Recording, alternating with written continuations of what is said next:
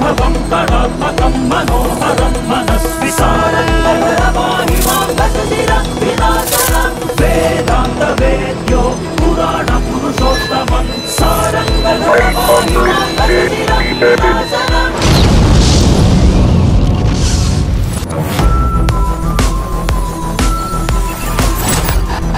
Hi Cadbury's, welcome back our channel. In this video, we're going to learn the, the Python programming laboratory series. The course code is 21 CSL 46. So okay ನಾವು previous ವಿಡಿಯೋದಲ್ಲಿ seven programming seven ಬಗ್ಗೆ ಮಾತಾಡಿದ್ವಿ. ಅದರೊಳಗೆ seven ಅಲ್ಲಿ ಎರಡು part ಆಗಿ divide ಮಾಡಿದ್ರೆ ಅಂದ್ರೆ ಎ ಮತ್ತೆ ಬಿ ಅಂತ. ಸೊ ನಾವು ಪ್ರೀವಿಯಸ್ ವಿಡಿಯೋದಲ್ಲಿ ಎ ನೋಡಿದ್ವಿ. ಏನು ಎ ಅಂದ್ರೆ? ಪ್ರೋಗ್ರಾಮ್ ಎ ಅಂದ್ರೆ so finding the rectangle triangle ಮತ್ತೆ ಸರ್ಕಲ್ ಸೊ ಇದ್ರ ಏರಿಯಾ ನಾವಿಲ್ಲಿ ಫೈಂಡ್ ಔಟ್ ಮಾಡಬೇಕಿತ್ತು. ಯೂಸಿಂಗ್ ಇನ್ಹೆರಿಟೆನ್ಸ್ ಕಾನ್ಸೆಪ್ಟ್ ಯೂಸ್ ಮಾಡ್ಕೊಂಡು ಓಕೆ ಇನ್ಹೆರಿಟೆನ್ಸ್ ಕಾನ್ಸೆಪ್ಟ್ ಯೂಸ್ ಮಾಡ್ಕೊಂಡು ನಾವಿಲ್ಲಿ ಏರಿಯಾ ಆಫ್ ಟ್ರಯಾಂಗಲ್ ಸರ್ಕಲ್ ಮತ್ತೆ ರೆಕ್ಟ್ಯಾಂಗಲ್ದು ಯಾವ ತರ ಪ್ರೋಗ್ರಾಮ್ ಮಾಡೋದನ್ನ ನೋಡಿದೀವಿ. ಈಗ ಅದೇ ಸೆವೆನ್ ಎಲ್ ಎ ಸೆವೆನ್ ಅಲ್ಲಿ ಬಿ ಪಾರ್ಟ್ ಬಿ ನ ನೋಡೋಣ. ಸೊ ಪಾರ್ಟ್ ಬಿ ನೇಮ್ ಏನು ಅಂದ್ರೆ right a Python program by creating a class so ನಾವೇನು ಒಂದು ಪೈಥಾನ್ ಪ್ರೋಗ್ರಾಮ್ ಬರಬೇಕು. ಸೊ ಒಂದು ಕ್ಲಾಸ್ನ ಕ್ರಿಯೇಟ್ ಮಾಡಬೇಕು. ಸೊ ಆ ಕ್ಲಾಸ್ ನೇಮ್ ಅಂತ ನೋಡೋಣ. ಸೊ ಕ್ಲಾಸ್ ನೇಮ್ ಏನು ಅಂದ್ರೆ employee a class called employee ಅಂತ. And to store the details of name to store the details of name so ಒಂದು ಕ್ಲಾಸ್ನ ಕ್ರಿಯೇಟ್ ಮಾಡಬೇಕು. ಏನ್ ಕ್ಲಾಸ್ ಅಂದ್ರೆ ಎಂಪ್ಲಾಯ್ ಅನ್ನೋ ಕ್ಲಾಸು ಸೊ ಆ ಕ್ಲಾಸ್ ಅಲ್ಲಿ ಏನೇನ್ ಇರಬೇಕು? ನೇಮ್ ಇರಬೇಕು. ನೆಕ್ಸ್ಟ್ ಎಂಪ್ಲಾಯ್ ಐ ಡಿ ಇರಬೇಕು. ಮತ್ತೆ ಡಿಪಾರ್ಟ್ಮೆಂಟ್ ಇರಬೇಕು. ಅಂಡ್ ಸ್ಯಾಲರಿ ಮತ್ತೆ implement method to update salary of employees belonging to a given department so ಇದರ ಅರ್ಥ ಏನು ಅಂದ್ರೆ ಸೊ ಒಂದು ಎಂಪ್ಲಾಯ್ ಅನ್ನೋ ಕ್ಲಾಸ್ನ ಕ್ರಿಯೇಟ್ ಮಾಡಬೇಕು ಯೂಸಿಂಗ್ ಪೈಥಾನ್ ಪ್ರೋಗ್ರಾಮ್ ಯೂಸ್ ಮಾಡ್ಕೊಂಡು. ಸೊ ಆ ಎಂಪ್ಲಾಯ್ಗೆ ಏನೇನು ಆಟ್ರಿಬ್ಯೂಟ್ಸ್ ಇರ್ತವೆ ಫಾರ್ ಎಕ್ಸಾಂಪಲ್ ಒಂದು ಫಾರ್ ಎಕ್ಸಾಂಪಲ್ ನೀವೇ ತಗೊಳ್ಳಿ. ಸೊ ನಿಮ್ಮಲ್ಲಿ ಏನೇನು ಆಟ್ರಿಬ್ಯೂಟ್ಸ್ ಇದೆ, ನಿಮ್ ನೇಮ್ ಇದೆ, ನಿಮ್ ಕಾಲೇಜಿಂದ ಕೊಟ್ಟರು ಯು ಎಸ್ ಎನ್ ಇರುತ್ತಲ್ಲ ಸೊ ಅದೇ ಇರುತ್ತೆ ಯು ಎಸ್ ಎನ್ ಇರುತ್ತೆ, ಮತ್ತೆ U S N I D ಇರುತ್ತೆ.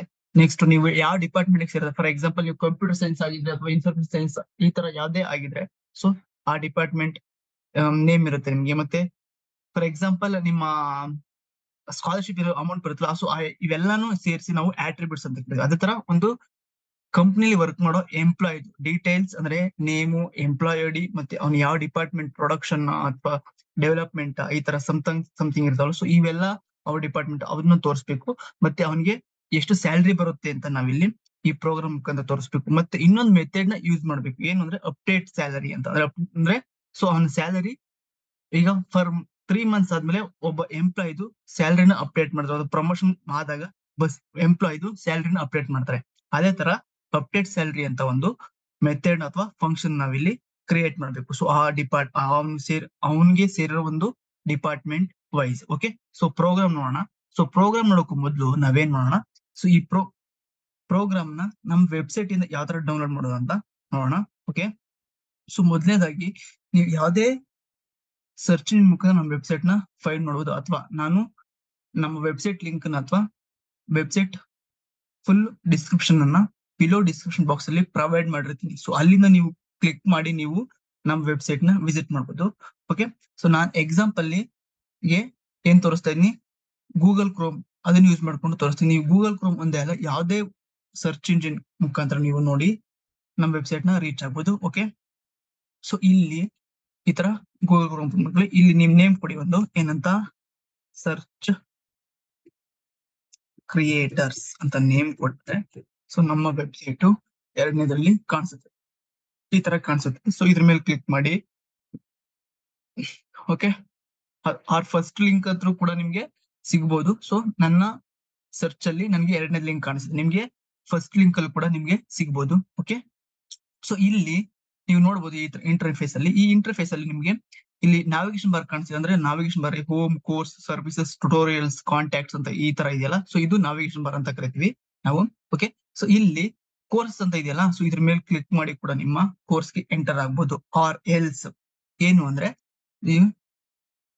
ಈ ಪೇಜ್ ಇದೆಯಲ್ಲ? ಸೊ ಈ ಮೇನ್ ಇಂಟರ್ಫೇಸ್ ಬಿಲೋ ಸ್ಕ್ರಾಲ್ ಮಾಡಿದ್ರೆ ನಿಮ್ಗೆ ಈ ತರ ಇನ್ನೊಂದು ಚೂಸ್ ಯುವರ್ ಕೋರ್ಸಸ್ ಅಂತ ಒಂದು ಇದು ಬರುತ್ತೆ. ಸೊ ಇದ್ರ ಮುಖಾಂತರ ಕೂಡ ನೀವು, ಆ, ನಿಮ್ಮ ಕೋರ್ಸ್ನ ಚೂಸ್ ಮಾಡೋದು. ಸೊ ನಾನು ಇಲ್ಲಿಂದನೇ ಚೂಸ್ ಮಾಡ್ತಾ ಇದ್ದೀನಿ ಓಕೆ ಸೊ ಇಂಜಿನಿಯರಿಂಗ್ ಅಂತ ಸೆಲೆಕ್ಟ್ ಮಾಡ್ತಾ ಇದ್ದೀನಿ.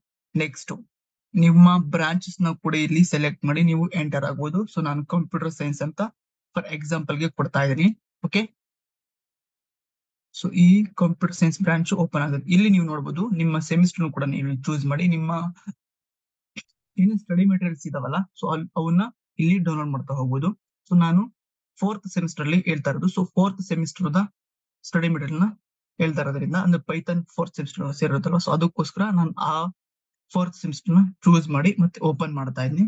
ಓಕೆ ಓಪನ್ ಮಾಡಿದೆ. ನೋಡಿ, ಈ ತರ fourth semester main page open ಆಯ್ತು. ಓಕೆ ಬಿಲೋ ಸ್ಕ್ರಾಲ್ ಮಾಡ್ತಾ ಬನ್ನಿ. ಸೊ ಇಲ್ಲಿ ನಿಮ್ಗೆ ಪೈಥಾನ್ ಪ್ರೋಗ್ರಾಮಿಂಗ್ ಲ್ಯಾಬೊರೇಟರಿ ಅಂತ ಕಾಣಿಸುತ್ತೆ. ಸೊ ಈ ಕಾರ್ಡ್ ಇದೆಯಲ್ಲ ಅಥವಾ ಇಮೇಜ್ ಕಾಣಿಸಿಲ್ಲ ಸೊ ಇಮೇಜ್ ಮೇಲೆ ಕ್ಲಿಕ್ ಮಾಡಿದ್ರೆ ನಿಮ್ಗೆ Python programming laboratory main page open ಆಗುತ್ತೆ. ಇಲ್ಲಿ ನಾನು ಮೊದಲೇ ವಿಡಿಯೋದಿಂದನೂ ಹೇಳಿದೀನಿ. ಸೊ ಆಲ್ರೆಡಿ ಪ್ರೀವಿಯಸ್ಲಿ ನೀವು ಎಲ್ಲ ಡೌನ್ಲೋಡ್ ಮಾಡ್ಕೊಂಡಿದ್ರ ನಾನು ಅಪ್ಡೇಟ್ ಮಾಡಿದಾಗ ಅನ್ಕೊಂಡಿದೀನಿ. ಸೊ ಯಾರೆಲ್ಲ ಡೌನ್ಲೋಡ್ ಮಾಡ್ಕೊಂಡಿಲ್ಲ ಅಪ್ಡೇಟ್ ಮಾಡಿರೋ, ಮತ್ತೆ ಹೊಸದಾಗಿ ಅಪ್ಡೇಟ್ ಮಾಡಿರೋ ಒಂದು ಆಲ್ ಫೇಸ್ ಅಂದ್ರೆ ಟ್ವೆಲ್ ಪ್ರೋಗ್ರಾಮ್ಸ್ ಇದೆ ಈ ಟ್ವೆಲ್ ಪ್ರೋಗ್ರಾಮ್ಸ್ ಕೂಡ ಒಂದು ಫೈಲ್ ಆಗಿ ನಾನು ಕನ್ವರ್ಟ್ ಮಾಡಿ ಇಲ್ಲಿ ಪೋಸ್ಟ್ ಮಾಡಿದ್ದೀನಿ ಸೊ ನೀವು ಇದನ್ನ ಡೌನ್ಲೋಡ್ ಮಾಡ್ಕೊಂಡು ನೋಡ್ಬೋದು.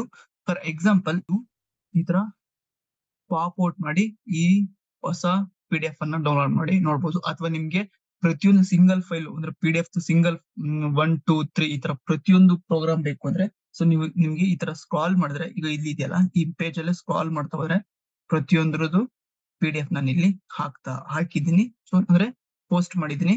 ಸೊ ಪ್ರತಿಯೊಂದು ಪಿ ಡಿ ಎಫ್ ಪೋಸ್ಟ್ ಮಾಡಿದ್ದೀನಿ. ಸೊ ಈ ಆ ಪೋಸ್ಟ್ನ ಪಾಪ್ ಔಟ್ ಮಾಡಿ ಡೌನ್ಲೋಡ್ ಮಾಡ್ಕೋಬಹುದು ಸೊ ಓಕೆ ಇಲ್ಲಿ ಈ ಆಲ್ ಪ್ರೋಗ್ರಾಮ್ಸ್ ಇದಾವಲ್ಲ ಸೊ ಇದ್ರ ಮೇಲೆ ಕ್ಲಿಕ್ ಮಾಡಿ ನಿಮ್ಗೆ ಈ ತರ ಇನ್ನೊಂದು ಪಾಪ್ ಔಟ್ ಮಾಡಿದ್ರೆ ಈ ತರ ಪೇಜ್ ಓಪನ್ ಆಗುತ್ತೆ. ಅಂದ್ರೆ Google drive P D F open ಆಗುತ್ತೆ. ಇಲ್ಲಿ ನೀವೇನ್ ಮಾಡಿ ಅಂದ್ರೆ ಸೊ ನಾನು, ಆ ಓಲ್ಡ್ ವಿಡಿಯೋಸ್ ಅಲ್ಲಿ ಹೇಳಿದ್ದೆ. ಸೊ ಸಮ್ ಪ್ರೋಗ್ರಾಮ್ಸ್ ಏನು ಅಂದ್ರೆ ಸೊ ಕರೆಕ್ಟ್ ಆಗಿ ವರ್ಕ್ ಆಗುತ್ತೆ. ಫಾರ್ ಎಕ್ಸಾಂಪಲ್ ನಿಮ್ಗೆ ನೋಡ್ಬೋದು ಇಲ್ಲಿ ಒನ್ ಎ ಕರೆಕ್ಟ್ ಇದೆ ಮತ್ತೆ ಒನ್ ಬಿ ನೀವು ಇಲ್ಲಿ ನೋಡ್ತಾ ಇರ್ಬೋದು. ತೋರಿಸ್ತಾ ಇದ್ದೀನಿ ಅನ್ಕೋತೀನಿ. ಓಕೆ ಝೂಮ್ ಮಾಡ್ಬಿಡ್ತೀನಿ ಹಾ, ನೋಡಿ.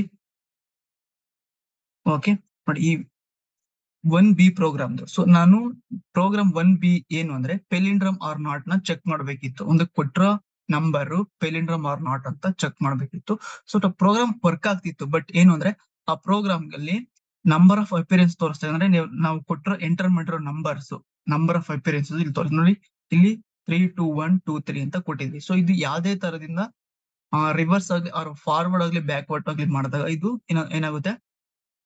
ಪೆಲಿಂಡ್ರಮ್ ಆಗಿ ಬರುತ್ತೆ ಅಂದ್ರೆ ರಿವರ್ಸ್ ಆಗಿ ಬರುತ್ತೆ. ಯಾವ್ದೇ ತರ ಮಾಡಿದ್ರೆ ಈಗ ನಮ್ಗೆ three two one two three ಅಂತಾನೆ ಬರುತ್ತೆ. ಆಯ್ತಾ? ಅದಕ್ಕೆ ಇದು ಪೆಲೆಂಡ್ರಮ್ ಅಂತ ಕರೀತೀವಿ ಅಂದ್ರೆ ಬ್ಯಾಕ್ವರ್ಡ್ ಆರ್ ಫಾರ್ವರ್ಡ್ ಮಾಡಿದಾಗ ನಮ್ಗೆ ಏನ್ ಬರ್ಬೇಕು? ಅದೇ ತರ ಫಾರ್ ಎಕ್ಸಾಂಪಲ್ ಮೇಡಮ್ ಅಂತ ನಾವು ಯಾವ್ದೇ ತರ ಒಂದು ವರ್ಡ್ ಅನ್ನು ಓದಿದಾಗ ನಮ್ಗೆ ಪೆಲಿಂಡ್ರಮ್ ಅಂತ ಬರಲ್ವಾ? ಅಂದ್ರೆ ಮೇಡಮ್ ಅನ್ನೋ ವರ್ಡ್ ನಾವು ಯಾವ್ದೇ ಫಾರ್ವರ್ಡ್ ಆಗ್ಲಿ ಬ್ಯಾಕ್ವರ್ಡ್ ಆಗ್ಲಿ ಓದಿದಾಗ ನಮ್ಗೆ ಅದೇ ಸೆಂಟೆನ್ಸ್ ಅಥವಾ ಅದೇ ವರ್ಡ್ ನಮ್ಗೆ ಕಿವಿ ಕೇಳಿಸುತ್ತೆ ಅದನ್ನ ನಾವು ಪೆಲಿಂಡ್ರಮ್ ಅಂತ ಕರಿತೀವಿ.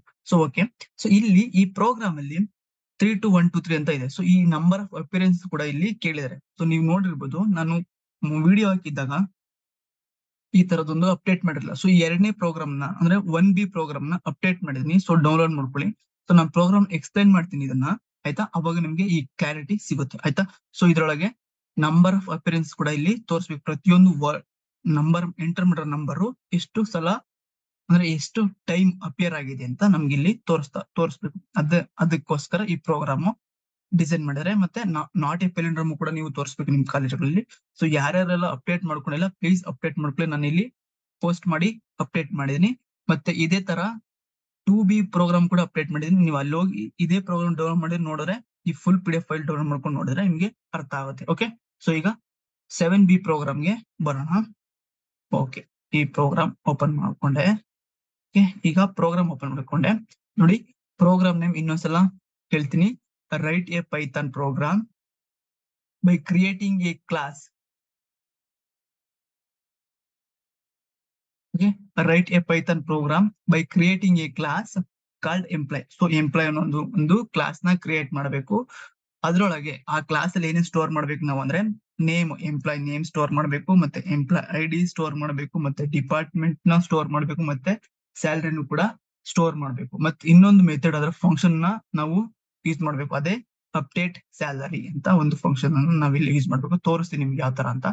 ಇದಿಷ್ಟು ಪ್ರೋಗ್ರಾಮ್ ನೇಮು ಸೊ ಈ employee name employee I D employee department salary update salary ಇವೆಲ್ಲ ಇದೇ ಪೈಥಾನ್ ಪ್ರೋಗ್ರಾಮ್ ಏನ್ ರಿಪೀಟ್ ಆಗಿದೆ ಅಂದ್ರೆ ಇದಿದೆಯಲ್ಲ ಸೊ ಇದೇ ಮತ್ತೆ ಡಿ ಬಿ ಎಂ ಎಸ್ ಅಂದ್ರೆ data base management system so ಇದು ನಿಮ್ಮ ಫಿಫ್ತ್ ಸೆಮಿಸ್ಟರ್ ಅಲ್ಲಿ ಬರುತ್ತೆ. ಸೊ ಅದಕ್ಕೆ ರಿಲೇಟೆಡ್ ಆಗಿ ಇದೆ.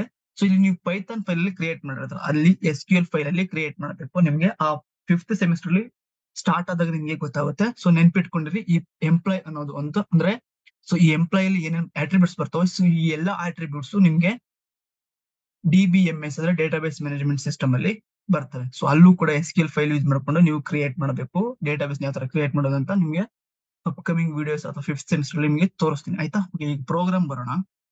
ನೋಡಿ ಪ್ರೋಗ್ರಾಮ್ ಅಂದ್ರೆ ಸೊ ಕ್ಲಾಸ್ ಸೊ ಇಲ್ಲಿ ಒಂದು ಕ್ಲಾಸ್ ನೇಮ್ನ ಕ್ರಿಯೇಟ್ ಮಾಡಿ. ಅದೇ ಎಂಪ್ಲಾಯ್ ಅಂತ ಸೊ ಓಕೆ ಈ ಕ್ಲಾಸ್ ಕ್ರಿಯೇಟ್ ಮಾಡ್ಕೊಂಡು ಗೊತ್ತಾಯ್ತು. ಸೊ ಈ ಕ್ಲಾಸ್ ಅಲ್ಲಿ ಒಂದು ಫಂಕ್ಷನ್ ಡಿಫೈನ್ ಮಾಡಬೇಕು. ಸೊ ಫಂಕ್ಷನ್ ನೇಮು ಇನಿಟ್ ಅನ್ನೋದು ಒಂದು ಪ್ರೀ ಡಿಫೈನ್ಡ್ ಫಂಕ್ಷನ್ ಅಥವಾ ನಿಮ್ಮ ಪೈಥಾನ್ ಅಲ್ಲಿ ಅಥವಾ ಜಾವದಲ್ಲಿ ಏನೇ ಅಂದು ಕೊಟ್ರು ಸೊ ಅದು ಸೆಲ್ಫ್ ಅಂತ ಒಂದು ಮೆಥಡ್ ಡಿಫಾಲ್ಟ್ ಆಗಿ ಪಾಸ್ ಮಾಡೋದು. ಅಥವಾ ನೀವು, ನೀವೇ ಡೈನಾಮಿಕ್ ಆಗಿ ಪಾಸ್ ಮಾಡಿದ್ರು ಕೂಡ ಅದು ತಗೊಳುತ್ತೆ. ಆಯ್ತಾ? ಸೊ ಇನಿಟ್ ಅನ್ನೋದು ಒಂದು ಫಂಕ್ಷನ್ ಮತ್ತೆ ಸೆಲ್ಫ್ ಅನ್ನೋದು ಕೂಡ ಒಂದು ಫಂಕ್ಷನ್ ಸೊ ಆ ಇನಿಟ್ ಅಂದ್ರೆ ಇನಿಷಿಯಲಿ ಅಂತ ಅರ್ಥನಾದ್ರೂ ಬರ್ತೋ ಅಥವಾ ಇನಿಶಿಯೇಟರ್ ಅಂತ ಕೂಡ ನಿಮ್ಗೆ ಅರ್ಥ ಬರುತ್ತೆ. ಸೊ ಇಲ್ಲಿ ಸೆಲ್ಫ್ ಅನ್ನೋದು ಮೆಥಡ್ ಸೊ ಈ ಸೆಲ್ಫ್ನ ಮುಖಾಂತರ ನಾವು ಏನೇನ ಡಿಫೈನ್ ಮಾಡಬೇಕು ಅಂದ್ರೆ ನೇಮ್ನ ಡಿಫೈನ್ ಮಾಡಬೇಕು, ಮತ್ತೆ ಎಂಪ್ಲಾಯ್ ಐಡಿ ನ ಡಿಫೈನ್ ಮಾಡಬೇಕು, ಮತ್ತೆ ಡಿಪಾರ್ಟ್ಮೆಂಟ್ ನು ಕೂಡ ಡಿಫೈನ್ ಮಾಡಬೇಕು, ಮತ್ತೆ ಸ್ಯಾಲರಿನೂ ಕೂಡ ಇಲ್ಲಿ ಡಿಫೈನ್ ಮಾಡಬೇಕು. ಯೂಸಿಂಗ್ ಯಾವ ಮೆಥಡ್ ಅಂದ್ರೆ ಸೆಲ್ಫ್ ಮೆಥಡ್ ನೋಡಿ, ಅದಕ್ಕೆ ನಾನು ಏನ್ ಕೊಟ್ಟಿದ್ದೀನಿ? ಸೆಲ್ಫ್ ಡಾಟ್ ನೇಮ್ ಡಿಫೈನ್ ಮಾಡಿದೀನಿ next self dot employee ID ಅಂತ ಒಂದನ್ನ ಡಿಫೈನ್ ಮಾಡಿದ್ದೀನಿ. ಸೊ ಇಲ್ಲಿ ನನ್ಗೆ ಯಾವ್ದೇನೇ ವ್ಯಾಲ್ಯೂ ನಾನು ಇಲ್ಲಿ ಮೆನ್ಷನ್ ಮಾಡಿಲ್ಲ. ನೋಡಿ, ನೋಡ್ಬೋದು ನೀವು. ಯಾವ್ದನ್ನೇ ವ್ಯಾಲ್ಯೂ ಇಲ್ಲಿ ಮೆನ್ಷನ್ ಮಾಡಂಗಿಲ್ಲ. ನೀವು ಕೊಟ್ಟು ನೋಡಿ, ನಿಮ್ಗೆ ಎರರ್ ಬರುತ್ತೆ. ಅಥವಾ ನಿಮ್ಮ ನೀವೆಲ್ಲ ಆಂಗಲ್ ಅಲ್ಲೂ ಕೂಡ ಚೆಕ್ ಮಾಡ್ಬೋದು. ನಾನು ಮೊದಲನೇ ವಿಡಿಯೋದಲ್ಲಿ ಯಾವ್ದಾದ್ರು ಡಿಬಗ್ ಮಾಡೋದನ್ನ ಹೇಳಿದೀನಿ ಸೊ ನಿಮ್ಗೆ ಚೆಕ್ ಮಾಡಿ ನೋಡ್ಬೋದು. ನೀವೇನಾದ್ರೂ, ಆ ಕಮಾಂಡ್ ಪ್ರಾಂಪ್ಟ್ ಅಲ್ಲೂ ಕೂಡ ನೀವು ರನ್ ಮಾಡಬಹುದು ಅಂತ ಹೇಳಿದ್ನಲ್ವಾ? ಅದೇ ತರ ಲೈನಕ್ಸ್ ಅಲ್ಲೂ ಕೂಡ ರನ್ ಮಾಡಬಹುದು ಬಟ್ ಡಿಬಗ್ ಮಾಡೋದಕ್ಕೆ ಆ ಕಮಾಂಡ್ ಪ್ರಾಂಪ್ಟ್ ಅಲ್ಲಿ ಆಗ್ಲಿ ಅಥವಾ ಯಾವ್ದಾರು ಆಗ್ಲಿ ಬರೋದಿಲ್ಲ. ಅಂದ್ರೆ ಪ್ರೋಗ್ರಾಮ್ ಹೇಳಿದ್ರೆ ತೋರಿಸುತ್ತೆ ಅಷ್ಟೇ but debug line by line ಅದು ಎಕ್ಸಿಕ್ಯೂಷನ್ ತೋರಿಸಲ್ಲ. ಸೊ ಪೈಚಾರ್ನ ಯೂಸ್ ಮಾಡಿ ನಿಮ್ಗೆ ಬೆಸ್ಟ್ ಅಂತ ನಾನು ಅಂದ್ಕೋತೀನಿ. ಓಕೆ ನೆಕ್ಸ್ಟ್ ಈಗ ಒಂದು ಫಂಕ್ಷನ್ ಆಯ್ತು. ಓ, ಏನು ಅಂದ್ರೆ ಇನಿಟ್ ಫಂಕ್ಷನ್ ಇನಿಟ್ ಫಂಕ್ಷನ್ ಒಳಗೆ ನೇಮ್ ಕೊಟ್ವಿ ಮತ್ತೆ ನೇಮ್ ಡಿಫೈನ್ ಮಾಡಿದ್ವಿ ಎಂಪ್ಲಾಯ್ ಡಿಫೈನ್ ಮಾಡಿದ್ವಿ ಮತ್ತೆ ಡಿಪಾರ್ಟ್ಮೆಂಟ್ ಡಿಫೈನ್ ಮಾಡಿದೀವಿ, ಮತ್ತೆ ಸ್ಯಾಲರಿ ಕೂಡ ಡಿಫೈನ್ ಮಾಡಿದೀವಿ. ಓಕೆ ಈಗ ಎಂಪ್ಲಾಯ್ ಡೀಟೇಲ್ಸ್ನ ನಾವು ತಗೋಬೇಕು. ಯಾವ ತರ? ಅದಕ್ಕೆ ಒಂದು ಫಂಕ್ಷನ್ ಕ್ರಿಯೇಟ್ ಮಾಡಬೇಕು. ಅದೇ ಗೆಟ್ ಎಂಪ್ಲಾಯ್ ಡೀಟೇಲ್ಸ್ ಅಂತ ನಾನು ತಗೊಂಡಿದ್ದೀನಿ ಅದೇ ಗೆಟ್ ಇ ಎಂ ಪಿ ಅಂದ್ರೆ employee details so method use ಮಾಡಿದ ಅಂದ್ರೆ ಸೆಲ್ಫ್ ಅಂತ. ಸೊ ಪ್ರತಿಯೊಂದನ್ನು ಎಲ್ಲಿ ಸ್ಟೋರ್ ಆಗ್ಬೇಕು ನನಗೆ? ಗ್ಲೋಬಲ್ ಸ್ಟೋರ್ ಆಗ್ಬೇಕು. ಅದಕ್ಕೆ ಸೆಲ್ಫ್ ಡಾಟ್ ಡಿಪಾರ್ಟ್ಮೆಂಟ್ ಅಂತ ಪ್ರತಿಯೊಂದನ್ನು ಸ್ಟೋರ್ ಮಾಡಿ ತೋರಿಸಿದ್ನಲ್ವಾ ಸೊ ಅದೇ ಅಲ್ಲಿಗೆ ಸ್ಟೋರ್ ಆಗ್ಬೇಕು. ಓಕೆ ಓಕೆ ಈಗ ಸೆಲ್ಫ್ ಡಾಟ್ ನೇಮ್ ಅನ್ನೋದು ಒಂದು ವೇರಿಯಬಲ್ ಈ ವೇರಿಯಬಲ್ಗೆ ಇನ್ಪುಟ್ ಮೆಥಡ್ ಯೂಸ್ ಮಾಡಿಕೊಂಡು ಎಂಟರ್ ಎಂಪ್ಲಾಯ್ ನೇಮ್ ಅಂತ ಕೊಟ್ಟಿದೆ. ಅಂದ್ರೆ ನೇಮು ಯಾವ ತರ ಇರಬೇಕು ಸ್ಟ್ರಿಂಗ್ ಅಲ್ಲಿ ಇರಬೇಕು. ಸೊ ಅದಕ್ಕೆ ನಾನು ಇಂಟ್ ಆಗಲಿ ಅಥವಾ ಫ್ಲೋಟ್ ಆಗಲಿ ಯಾವುದೇ ಒಂದು ಡೇಟಾ ಟೈಪ್ನಲ್ಲಿ ಯೂಸ್ ಮಾಡಿ ಡೈರೆಕ್ಟ್ ಇನ್ಪುಟ್ ಮೆಥಡ್ ಯೂಸ್ ಮಾಡಿಕೊಂಡು ನೇಮ್ಗೆ ಅಸೈನ್ ಮಾಡ್ತಾ ಇದ್ದೀನಿ. Next employee I D so ಇದು ಕೂಡ ಕೆಲವೊಂದ್ಸಲ ಎಂಪ್ಲಾಯ್ ಐ ಡಿ ಸ್ಟ್ರಿಂಗ್ ಇರುತ್ತೆ ಮತ್ತೆ ನಂಬರ್ಸ್ ಇರುತ್ತೆ ಡಿಜಿಟ್ಸ್ ಇರುತ್ತೆ. ಅದಕ್ಕೋಸ್ಕರ ನಾನು ಜಸ್ಟ್ ಇನ್ಪುಟ್ ಮೆಥಡ್ನ ಯೂಸ್ ಮಾಡ್ಕೊಂಡು ಇಲ್ಲಿಗೆ ಸ್ಟೋರ್ ಮಾಡ್ತೇನೆ. Employee I enter a employee I D ಅಂತ ಸ್ಟೋರ್ ಮಾಡ್ತಾ ಇದ್ದೀನಿ. ಮತ್ತೆ ಡಿಪಾರ್ಟ್ಮೆಂಟ್ಗೆ.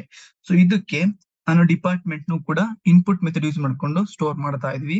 ನೆಕ್ಸ್ಟ್ ಸ್ಯಾಲರಿಯು ಕೂಡ ಇಂಟ್ ಇನ್ಪುಟ್ ಸ್ಯಾಲರಿ ನಿಮ್ಗೆ ನೋಡಿರ್ಬೋದು, ಯಾವುದೇ ಪ್ರತಿಯೊಬ್ಬರ ಸ್ಯಾಲರಿ ಅಥವಾ ಪ್ರತಿಯೊಬ್ಬ ಸ್ಯಾಲರಿ ಟೈಪ್ ಯಾವ ತರ ಇರ್ತಾರೆ ಇಂಟೀಜರ್ ಟೈಪ್ ಇರುತ್ತೆ ಅಂದ್ರೆ ಡಿಜಿಟಲ್ ಡಿಜಿಟ್ಸ್ ಟೈಪ್ ಇರುತ್ತೆ. ಅದಕ್ಕೋಸ್ಕರ ಇಂಟೀಜರ್ ಅನ್ನೋ ಒಂದು ಡೇಟಾ ಟೈಪ್ ಯೂಸ್ ಮಾಡ್ಕೊಂಡು ಇನ್ಪುಟ್ ಮೆಥಡ್ ಯೂಸ್ ಮಾಡ್ಕೊಂಡು ಎಂಟರ್ ಎಂಪ್ಲಾಯ್ ಸ್ಯಾಲರಿ ಅಂತ ಇಲ್ಲಿಗೆ ಅಸೈನ್ ಮಾಡ್ತೀವಿ. ಇಲ್ಲಿಗೆ ಸ್ಯಾಲರಿಗೆ ಅಸೈನ್ ಮಾಡ್ತಾ ಇದ್ವಿ. ಸೊ ಓಕೆ ಈಗ ನಾವು ಎಂಪ್ಲಾಯ್ ಡೀಟೇಲ್ಸ್ ತಗೊಂಡಿದ್ದಾಯ್ತು. ಸೊ ಈ ಎಂಪ್ಲಾಯ್ ಡೀಟೇಲ್ಸ್ನ ನಾವು ಏನ್ ಮಾಡ್ಬೇಕು? ಶೋ ಮಾಡಬೇಕು. ಅದು ಡಿಸ್ಪ್ಲೇ ಮಾಡೋದಕ್ಕೆ ಡಿಸ್ಪ್ಲೇ ಮಾಡೋದಕ್ಕೆ ಇನ್ನೊಂದು ಫಂಕ್ಷನ್ ಕ್ರಿಯೇಟ್ ಮಾಡಬೇಕು. ಅದೇ define show E M P details ಅಂತ ಒಂದು ಫಂಕ್ಷನ್ನ ಡಿಫೈನ್ ಮಾಡಿದೀನಿ. ಸೊ ಯಾವ ತರ ಡಿಫೈನ್ ಅಂದ್ರೆ ಯಾವ ತರ ಆಕ್ಸೆಸ್ ಮಾಡೋದು ಅಂದ್ರೆ ಸೆಲ್ಫ್ ಡಾಟ್ ಅಂತ ಸೆಲ್ಫ್ ಅನ್ನೋ ಮೆಥಡ್ ಯೂಸ್ ಮಾಡ್ಕೊಂಡು ನಾವು ಆಕ್ಸೆಸ್ ಮಾಡೋದು. ಅದಕ್ಕೆ ನಾನು ಏನಂತ ಕೊಟ್ಟಿದ್ದೀನಿ. ಸೊ ಎಂಪ್ಲಾಯ್ ಡೀಟೇಲ್ಸ್ ಅಂತ ನೇಮ್ ಬಂದು ನಿಮ್ಗೆ ಔಟ್ಪುಟ್ ಗೊತ್ತ ಬಂದಾಗ ಗೊತ್ತಾಗುತ್ತೆ ನಿಮ್ಗೆ, ಆಯ್ತಾ?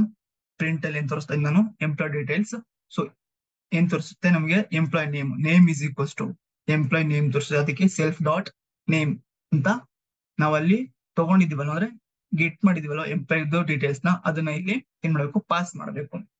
ನೇಮ್ ಮಾತ್ರ ನೆಕ್ಸ್ಟ್ ಐ ಡಿ ಕೂಡ ಎಂಪ್ಲಾಯ್ಡ್ ಎಂಪ್ಲಾಯ್ ಐಡಿ ತಗೊಂಡಿದೀವಲ್ಲ, ಅಂದ್ರೆ ತಗೊಂಡಿದ್ವಿ ಅಂದ್ರೆ ಗೆಟ್ ಮಾಡ್ ಗೆಟ್ ಗೆಟಿಂಗ್ ಮಾಡ್ಕೊಂಡಿದ್ವಿ. ಸೊ ಆ ಗೆಟಿಂಗ್ ನಾವೇನ್ ಮಾಡಿದ್ವಿ ಪಾಸ್ ಮಾಡ್ತಾ ಹೋಗ್ಬೇಕು ಒಂದೊಂದೇ ಐ ಡಿ ಹತ್ರ ಸೆಲ್ಫ್ ಎಂಪ್ಲಾಯ್ ಐ ಡಿ ಹತ್ರ ಪಾಸ್ ಐ ಡಿ ಪಾಸ್ ಮಾಡ್ಬೇಕು. ಐ ಡಿ ಹತ್ರ ಸೆಲ್ಫ್ ಡಾಟ್ ಎಂಪ್ಲಾಯ್ ಐ ನ ಪಾಸ್ ಮಾಡ್ಬೇಕು. ಮತ್ತೆ ಡಿಪಾರ್ಟ್ಮೆಂಟ್ ಹತ್ರ ಸೆಲ್ಫ್ ಡಾಟ್ ಡಿಪಾರ್ಟ್ಮೆಂಟ್ನ ಪಾಸ್ ಮಾಡ್ಬೇಕು. ಮತ್ತೆ ಸ್ಯಾಲರಿ ಹತ್ರ ಸೆಲ್ಫ್ ಡಾಟ್ ಸ್ಯಾಲರಿನ ಪಾಸ್ ಮಾಡ್ಬೇಕು. ಸೊ ಇದಿಷ್ಟು ಏನು ಎಂಪ್ಲಾಯ್ ಡೀಟೇಲ್ಸ್ ಆಯ್ತು. ಅಲ್ಲಿ ಇನ್ನೊಂದು ಫಂಕ್ಷನ್ ಹೇಳಿದ್ರೆ ಯಾವ್ದು ಅಂದ್ರೆ ಅಪ್ಡೇಟ್ ಸ್ಯಾಲರಿ ಅಂತ ಒಂದು ಮೆಥಡ್ ಅದ ಫಂಕ್ಷನ್ ಯೂಸ್ ಮಾಡ್ಬೇಕು ಅಂತ. ಅದಕ್ಕೆ ಇನ್ನೊಂದು ಫಂಕ್ಷನ್ ಕ್ರಿಯೇಟ್ ಮಾಡೋಣ. ಯಾವುದು? ಅಪ್ಡೇಟ್ ಸ್ಯಾಲರಿ ಅಂತ. ಅದಕ್ಕೆ ಅಪ್ ಡಿ ಟಿ ಅಂತ ಕೀವರ್ಡ್ ಆಗಿ ನಾನು ತಗೊಂಡಿದ್ದೀನಿ ಅಪ್ಡೇಟ್ ಸ್ಯಾಲರಿ ಸೆಲ್ಫ್ ಅಂದ್ರೆ ಮೆಥಡ್ ಸೊ ಈ ಇಲ್ಲಿ ಏನ್ ಮಾಡಬೇಕು? ಸ್ಯಾಲರಿನ ಅಪ್ಡೇಟ್ ಮಾಡಬೇಕು. ಸೆಲ್ಫ್ ಡಾಟ್ ಸ್ಯಾಲರಿ ಅಲ್ಲೂ ಕೂಡ ಸೆಲ್ಫ್ ಡಾಟ್ ಸ್ಯಾಲರಿ ಬಟ್ ಇಲ್ಲೂ ಕೂಡ ಸೆಲ್ಫ್ ಡಾಟ್ ಸ್ಯಾಲರಿ ಅಂತ ಇನ್ನೊಂದ್ಸಲ ಕ್ರಿಯೇಟ್ ಮಾಡಬೇಕು. ಪ್ರತಿಯೊಂದು ಫಂಕ್ಷನ್ ಅಲ್ಲೂ ವೇರಿಯಬಲ್ ಡಿಫೈನ್ ಮಾಡ್ತಾ ಹೋಗ್ಬೇಕು. ಇಲ್ಲಿ ಇಲ್ಲಿ ನೀವು ನೋಡಬಹುದು separate salary integer type data type use ಮಾಡ್ಕೊಂಡು ಇನ್ಪುಟ್ ಮೆಥಡ್ ನ್ಯೂ ಸ್ಯಾಲರಿನ ನಾವು ಇಲ್ಲಿ ಎಂಟರ್ ಮಾಡಬೇಕು. ಸ್ಯಾಲರಿ ನಾವು ಪ್ರಮೋಷನ್ ಬಂದಾಗ ಸ್ಯಾಲರಿ ಎಂಟರ್ ಮಾಡಲು ಅದೇ ತರ ಇಲ್ಲಿ ಸ್ಯಾಲರಿನ ಎಂಟರ್ ಮಾಡಬೇಕು. ನೆಕ್ಸ್ಟ್ ಈ, ಇದನ್ನ ಯಾವ ತರ ಪ್ರಿಂಟ್ ಮಾಡೋದು ಅಂದ್ರೆ ಅಪ್ಡೇಟ್ ಸ್ಯಾಲರಿ ಇಲ್ಲಿ ಏನ್ ಪಾಸ್ ಮಾಡಬೇಕು? ಇಲ್ಲಿ ಅಕ್ಸೆಪ್ಟ್ ಮಾಡಿದ್ವಲ್ಲ ಸೊ ಈ ಅಕ್ಸೆಪ್ಟೆನ್ಸ್ನ ಇಲ್ಲಿ ಪಾಸ್ ಮಾಡಬೇಕು ಸೆಲ್ಫ್ ಡಾಟ್ ಸ್ಯಾಲರಿ ಅಂತ.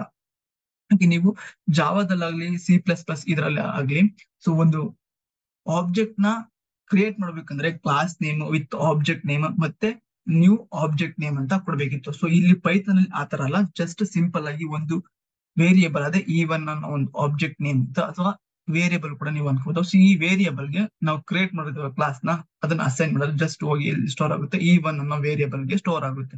ಸೊ ವೇರಿಯಬಲ್ ಆದ್ರೂ ನೀವು ಅಂದ್ಕೋಬಹುದು ಅಥವಾ ನಿಮ್ಮ ಆಬ್ಜೆಕ್ಟ್ ನೇಮ್ ಕೂಡ ಅಂದ್ಕೋಬಹುದು ಸೊ ನೀವು ಯಾವ ತರ ತಿಳ್ಕೊಂಡ್ರು ಕೂಡ ಜಸ್ಟ್ ಇದು ಅರ್ಥ ಮಾಡ್ಕೊಳ್ಳಿ ನೀವು. ಈ ಅರ್ಥ ಆದ್ರೆ ನೀವು ಪ್ರೋಗ್ರಾಮ್ ಬರೆಯೋದು ಈಸಿ ಅದಕ್ಕೋಸ್ಕರ ನಿಮ್ಗೆ ಅರ್ಥ ಮಾಡ್ಸಕ್ ಟ್ರೈ ಮಾಡಿಸ್ತಾ ಇದೀನಿ ಓಕೆ ಸೊ ಈ ಒನ್ ಅನ್ನೋದು ಒಂದು ಆಬ್ಜೆಕ್ಟ್ ನೇಮು ಅಥವಾ ನಿಮ್ಮ ವೇರಿಯಬಲ್ ನೇಮ್ ಅಂತ ಕೂಡ ನೀವು ಅನ್ಕೋಬಹುದು ಓಕೆ ಈ ಒನ್ಗೆ ಏನ್ ಮಾಡ್ತಾ ಇದ್ದೀನಿ ನಾನು ಎಂಪ್ಲಾಯ್ ಕ್ಲಾಸ್ನ ಅಸೈನ್ ಮಾಡ್ತಾ ಇದ್ದೀನಿ. ಓಕೆ ಸೊ ಈ ತರ ಯಾವುದೇ ಒಂದು ಫಂಕ್ಷನ್ ಅಥವಾ ನಿಮ್ಮ ಪ್ರೋಗ್ರಾಮ್ ಲ್ಯಾಂಗ್ವೇಜ್ ಅಲ್ಲಿ ಯಾವಾಗ್ಲೇ ಆಗಲಿ ಸೊ ಇಲ್ಲಿಂದ ಇಲ್ಲಿ ಯಾವತ್ತು ಅಸೈನ್ ಆಗಲ್ಲ. ಸೊ ರೈಟ್ ಟು ಲೆಫ್ಟ್ಗೆ ಅಸೈನ್ ಆಗುತ್ತೆ. ಅದಕ್ಕೋಸ್ಕರ ನಾನು ಇನ್ನು ಬರ್ತ್ ತೋರಿಸಿದ್ ನೋಡಿ ಎಂಪ್ಲಾಯ್ ಫಾರ್ಮ್ ಏನು?